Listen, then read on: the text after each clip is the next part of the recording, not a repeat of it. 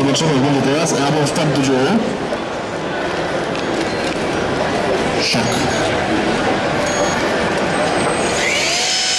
Jak widzimy, większość tych robotów w tej kategorii ma takie turbiny, dzięki którym przesysa się do podłoża. A w jakim celu? E, by zwiększyć docisk, jaki jest czas